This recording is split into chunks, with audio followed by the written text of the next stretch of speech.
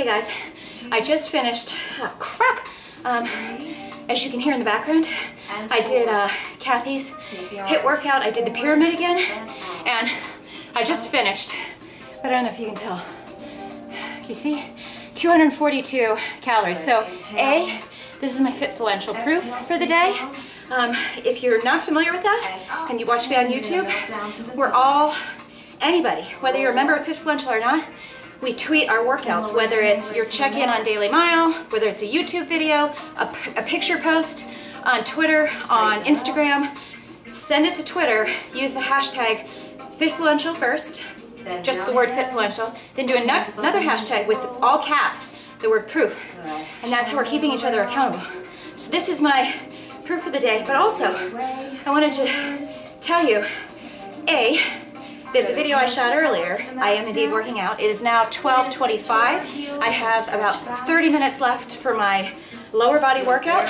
I'll squeeze in what I can and crush it, but I wanted to share I haven't done as much of my like high intensity cardio this week.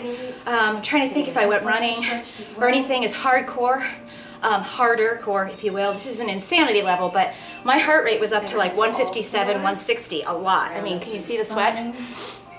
And for 20, 25 minutes, that's a good burn. And obviously I've got my sweat going.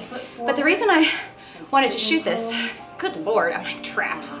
See those? Anyway. Comfortable um, Flexibility is limited. I noticed today when I did this, in the breaks in between, so she'll do 20 minutes of plyo, 20 minutes of rest, 25 minutes of the next move, 25, excuse me, seconds, 20, 20, 25, 25, 30, 30, and then you come back down. But it might be two 20s, two 25s, two 30s, and then coming back down with two 25s, two 20s. Then you have a minute rest and you do the whole thing.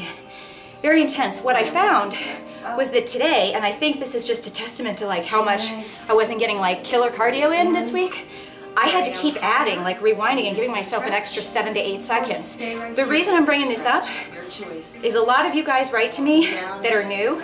I'm not um, a certified personal trainer, although I will be very soon, a certified trainer on the way.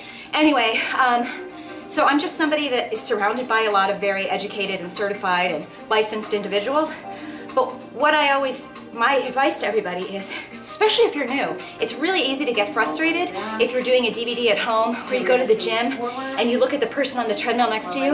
Like when I first started running and I was all proud that I was running at like 4.5 miles an hour and then some pro comes up next to me, some guy, and he gets on and warms up for two minutes and then he's doing like 9.5 miles an hour or eight and I'm like, oh my God. I'm not even working out. You can't compare yourself to other people. Do you guys honestly think, with this level of sweat and this nice burn and how out of breath I was, that even though I had to add eight seconds rest, additional rest, so I was, you know, kind of having a little bit more of a rough time today, this is what's kicking my butt. The only thing that matters, it's what's challenging you, what's continuing to challenge you, the only thing that matters is that you keep progressing. You can't compare yourself to someone else.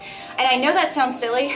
I know someone wrote on my blog one day, they were like, oh, I don't know other people compare themselves to other people and yada yada. Yeah, they do.